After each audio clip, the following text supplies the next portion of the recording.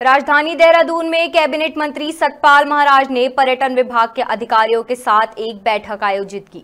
बैठक में कैबिनेट मंत्री ने उपस्थित अधिकारियों को होम स्टे को बढ़ावा देने जाने के निर्देश दिए।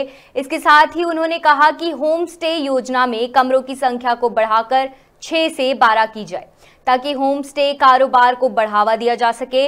इसके आगे उन्होंने कहा कि उत्तराखंड में स्लीपिंग अंडर द स्काई नाम से एक नया कॉन्सेप्ट भी लाया जाए, जिसके अंतर्गत पहाड़ों में पर्यटकों के लिए सोने की व्यवस्था की जाएगी, ताकि जब पर्यटक सुबह उठे तो उन्हें पहाड़ों का सुंदर दृश्य नज़र आए। देहरादून से ब्यूरो चीफ अवनीश गुप्ता की रिपोर्ट। मैं चाहता हूँ कि हमारे जो ग्रामीण जीवन के अंदर जो यात्री जाते हैं और होम स्टे का भी जो फ़ायदा उठाते हैं, फिर भी वहाँ पर जो स्टार्स हैं, उनको हम देख नहीं पाते हैं। खासकर हम शहरों में रहते हैं, और शहरों में इतनी ज़्यादा रोशनी होती है कि स्टार्स नज़र नहीं आते हैं। तो हमारा ये अभियान है कि सी द स्टार्स और उसके लिए हम लोग ये चाहते हैं कि एक सेफ़ जगह को चुन करके ग्रामीण जो लड़के हैं हमारे युवा मंगल दल हैं, वो एक बेड लगा दें और उसमें लोग सो करके रात्रि को स्टार्स भी देखें।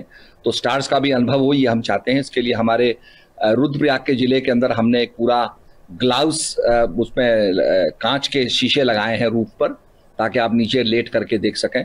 पर गांव-गांव में ये अभियान चल सकता है। विदेशों में भी लोग इस प्रकार का अभियान चलाते हैं। तो हम चाहते हैं कि आप एक बेड लगा के गाँव में, और इसमें बच्चे शरीक होंगे तो हमारे गाँव गाँव का टूरिज़्म बढ़ेगा।